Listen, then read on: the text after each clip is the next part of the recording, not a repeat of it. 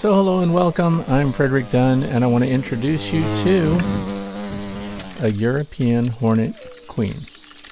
And this is the nest she's been building.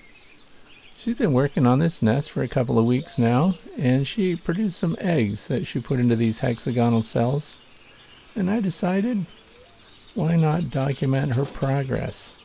So you can see that she's got three eggs that have already hatched, at least three, and they have turned into larvae which means that now they need protein. So she has to go out and hunt and forage for insect protein.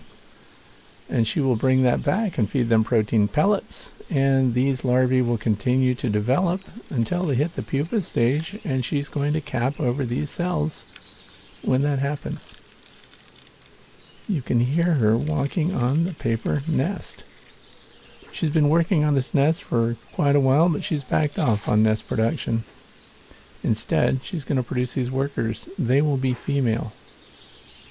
And then when they emerge from their cells after completing their pupa state, they will take over foraging and getting resources for more brood that she's going to produce.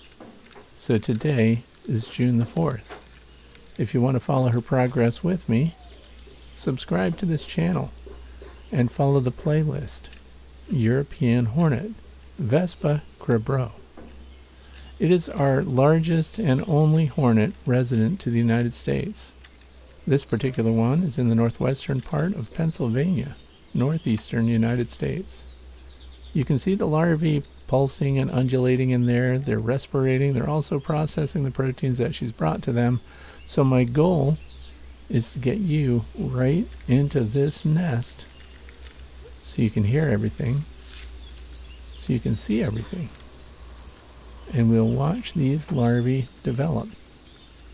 Now I keep honeybees and you might think, that's ridiculous. Why would you keep a European hornet around if you've got honeybees just a hundred yards away?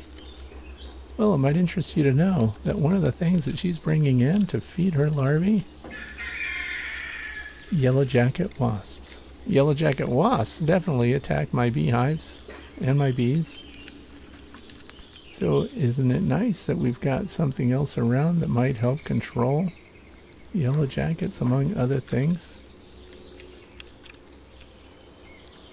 So if you want to hear this European hornet as she makes progress with her nest, and you want to see her developing larvae and learn along with me what she's finding and bringing to feed them.